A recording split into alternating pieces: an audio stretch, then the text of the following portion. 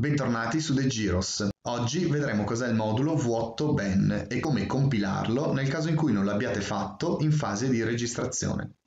Il modulo vuoto ben consente, coerentemente con quanto previsto dal Trattato fiscale internazionale applicabile, di ottenere un'aliquota minore dal 30 al 15% di ritenuta alla fonte su proventi, ad esempio dividendi e cedole, di origine statunitense, al fine di poter beneficiare della riduzione della ritenuta dal 30 al 15% sui dividendi USA, dovete compilare questo modulo. Tale riduzione spetta solo nel caso in cui un investitore abbia le seguenti tre caratteristiche.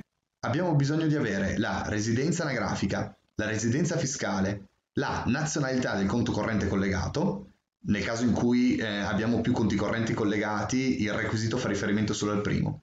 Comunque, tutti e tre questi elementi devono essere riferiti al medesimo paese, ad esempio l'Italia. Per compilare il modulo vuoto ben bisogna seguire la seguente procedura. Dalla home del nostro account clicchiamo sul pulsante a forma di omino nell'angolo in basso a sinistra.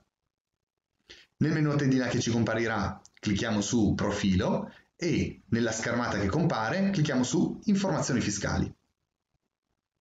Sotto la voce modulo vuoto ben troveremo il link per procedere alla compilazione del modulo. Una volta compilato questo sarà attivo istantaneamente. Per vedere se a seguito della vostra procedura di compilazione siete elegibili a questa riduzione fiscale, bisogna guardare nelle voci informazioni fiscali. Come potete vedere nel mio caso è stato rifiutato in quanto la mia residenza anagrafica non è in Italia, ma il conto bancario collegato è un conto bancario italiano. Precisiamo che il beneficio fiscale non si applica su dividendi e cedole di tutte le azioni USA, ma solamente per quelle entranti nella US Dividend Green List. De Giro, all'interno della pagina di ogni prodotto americano, ci dice se questi prodotti fanno parte di quella lista oppure no.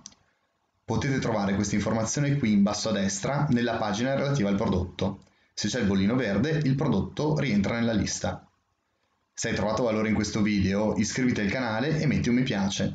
Nel caso ci fossero domande, lascia pure un commento e ti risponderemo il prima possibile.